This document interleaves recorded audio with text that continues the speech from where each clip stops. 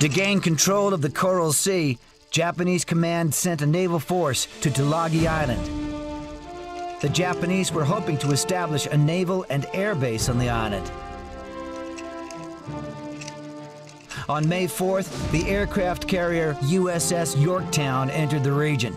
Bombers were launched from the carrier to stop the Japanese landing on Tulagi. Around noon, the pilots noticed several enemy hydroplanes. Yorktown fighters were sent to search and destroy them.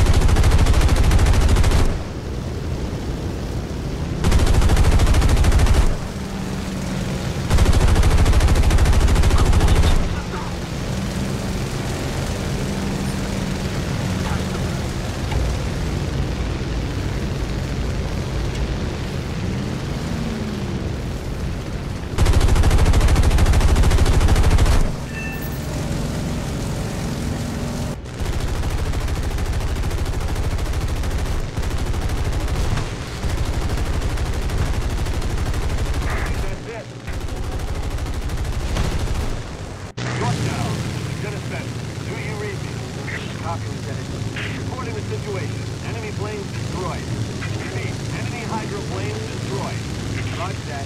Great job. The ship is leaving the island. Looks like she's alone. Let's stay a while. Stack the deck.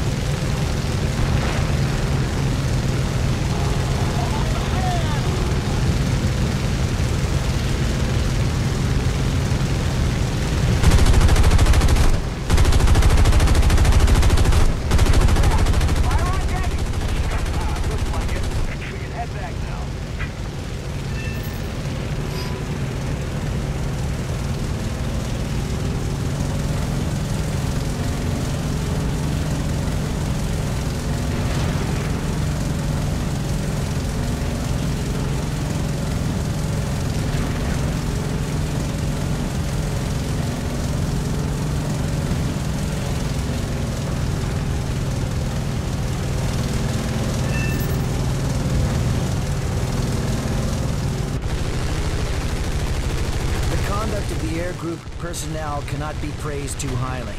In the space of five days, they made five attacks on enemy forces, three on May 4th, and one each on May 7th and 8th. Despite the many hardships and dangers involved, the pilots and other personnel lost none of their enthusiasm, high morale, or aggressive spirit.